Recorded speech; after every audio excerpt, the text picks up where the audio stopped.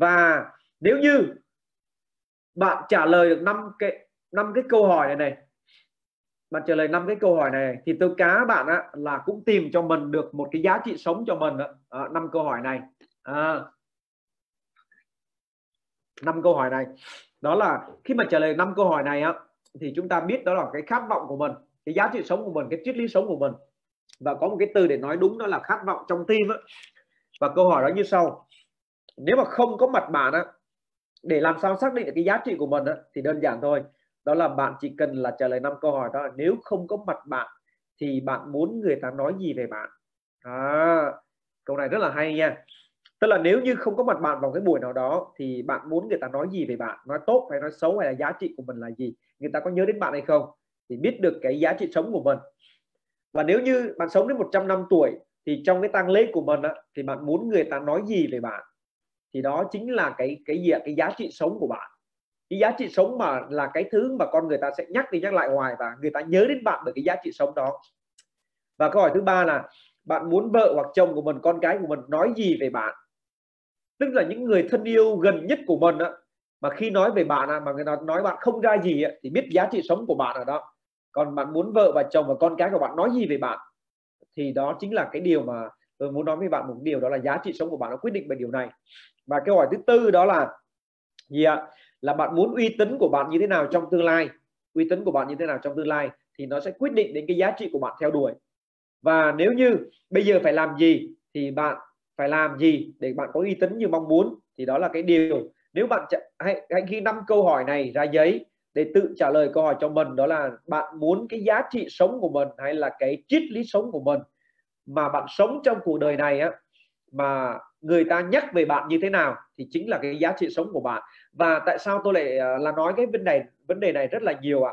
Bởi vì sao? Chính vì cái triết lý sống và cái giá trị sống này mà làm cho cái gì ạ? Làm cho cái mục tiêu, thiết lập mục tiêu của bạn có đạt hay không đạt. Chút nữa qua cái phần 2 đó là phần đặt mục tiêu theo cái giá trị sống của bạn, theo triết lý sống của bạn. Thì lúc đó bạn mới hiểu được tầm quan trọng của việc hiểu được mình là ai và giá trị gì trong cuộc đời này và giá trị sống của bạn là gì? Thì từ đó giải thích cho bạn là bạn đặt mục tiêu mà không bao giờ đạt hoặc là bạn đặt mục tiêu nào cũng đạt được hết. Bởi vì nó liên quan đến mục tiêu của bạn, nó có phụ, nó có phù hợp, nó có tương ứng với cái giá trị sống của bạn hay không. Được không ạ? Đó là cái điều mà hôm nay chúng ta bàn rất nhiều. Còn cái phần mà giải pháp công cụ mà làm sao rút tiền, làm sao để kích bốt để chạy, làm sao để tạo ra tiền, cái đó là anh chị à, khi mà có mục tiêu rồi á, thì làm cái nếu để tôi nói các anh chị điều này một số người hỏi tôi là làm cái gì mà gì ạ? Làm cái gì để đầu tư cái gì mà có nhiều tiền? Thì câu trả lời của tôi là gì ạ? Câu trả lời của tôi là làm cái gì hay đầu tư cái gì cũng có nhiều tiền. Thực sự như vậy. Bởi vì sao? Bởi vì anh chị phải hình dung thế này này. Đầu tư cái, cái người mà có cái giá trị sống khát vọng sống hay là có cái gì mục tiêu có cái uh, cái cái triết lý sống cụ thể và nó tương ứng thì báo anh chị một điều là gì ạ? Thì đó là cái người chắc chắn sẽ thành công và họ đầu tư gì cũng thành công. Cho nên lúc hỏi là đầu tư gì thành công thì câu trả lời là đầu tư cái gì cũng thành công. Bởi vì cái người có có cái giá trị của mình có cái giá trị sống của mình có mục tiêu tương ứng thì họ làm cái gì cũng thành công. Đầu tư họ đầu tư nhà hàng cũng thành công họ mở shop kinh doanh cũng thành công họ đầu tư cái gì ạ? À, à, đường xá cầu đường cũng thành công họ đầu tư uh, chứng khoán cũng thành công họ đầu tư cổ phiếu cũng thành công họ đầu tư về forex cũng thành công họ đầu tư vàng thành công họ đầu tư bất kỳ cái nào cũng thành công. Đó, báo anh chị biết. Cho nên câu hỏi mà đầu tư gì để thành công thì câu trả lời của tôi là đầu tư gì cũng thành công hết. Nếu anh chị biết cách và cái biết ở đây có nghĩa là biết mình cái giá trị gì và cái mục tiêu của mình nó phù hợp với cái giá trị đó của mình hay không được không? Thế thì à, hãy ngồi xuống và trả lời năm câu hỏi này thì sẽ khám phá ra cái giá trị thực sự của mình là gì cái triết lý sống của mình là gì và quan trọng là cái khát vọng sống của anh chị là gì. Thì từ đó nó hình thành ra cái gì ạ? Cái giá trị của mình. Và tôi sẽ giúp cho bước thứ hai đó là thiết lập cái mục tiêu phù hợp với cái giá trị sống đó các anh chị nha. Đó, đó. thế thì cái người mà thực sự thành công cái người mà thực sự biết giá trị của mình thì họ sẽ thể hiện cái năng lực ở cái mức gọi là gì ạ? À, cao nhất. Họ thực sự thể hiện cái năng lực ở mức cao nhất. Để làm sao biết điều này? Đó là khi mà họ được khen ngợi và tôn vinh cái thành quả họ đạt được thì họ họ càng thể hiện mãn liệt hơn tức là bình thường họ thể hiện rồi, nhưng mà khi được khen, được tôn vinh thì họ sẽ thể hiện một cách mạnh mẽ hơn, một cách mạnh mẽ hơn và thể hiện cái năng lực ở mức cao nhất hơn, được không ạ?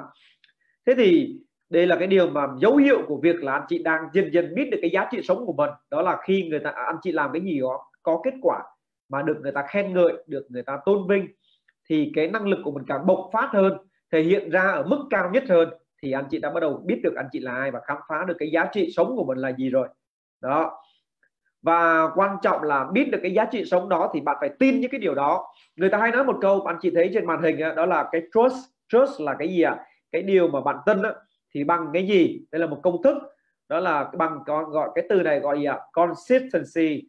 Consistency là gì ạ? Cái sự nhất quán cái sự uh, nhất quán. Nhất quán là gì ạ? Là không thay đổi từ trước sau thay đổi gọi là consistency. Và trên thời gian time. À, trust bằng gì ạ? Consistency và chia cho gì ạ? À, trên gì ạ? Time.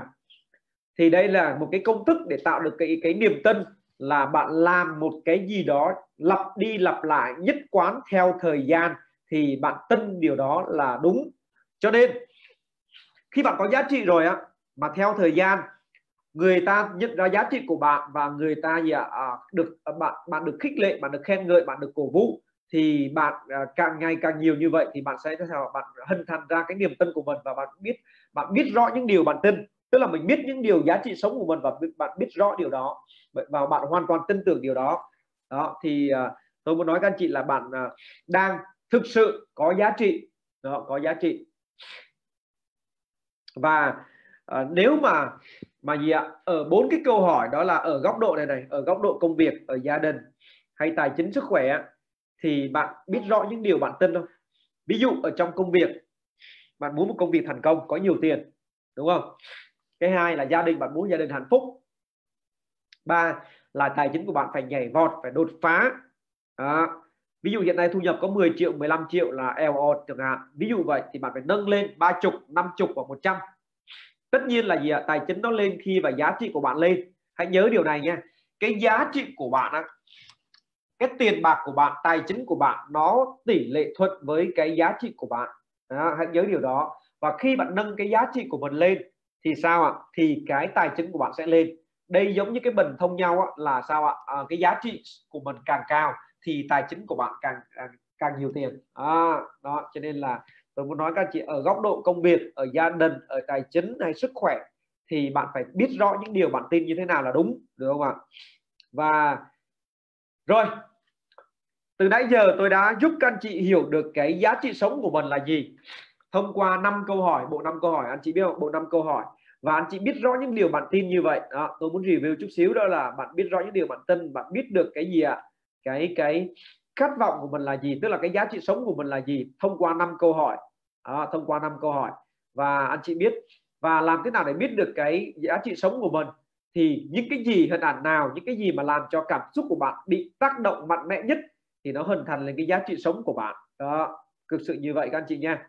Và và cái giá trị sống của bạn làm sao biết được thì cách tốt nhất đó là anh chị biểu hiện nó ra, đó là hành động.